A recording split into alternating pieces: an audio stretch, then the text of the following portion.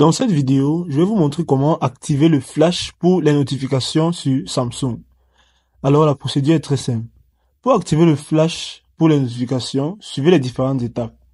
Vous allez ouvrir les paramètres. À partir de vos paramètres, vous allez rechercher les paramètres d'accessibilité.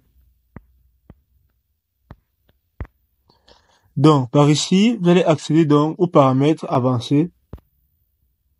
Et ici, vous allez cliquer sur notification par témoin lumineux.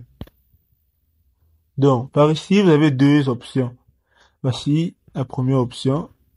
Soit ça va clignoter derrière, soit ça va clignoter sur tout l'écran.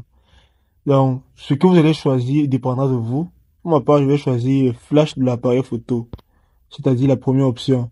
Donc, à chaque fois que j'aurai une notification, ça fera comme une torche derrière le téléphone, donc sur l'appareil photo. Et ainsi, vous pourrez faire cela. En suivant ces étapes, vous pourrez activer le flash LED pour les notifications sur votre Samsung.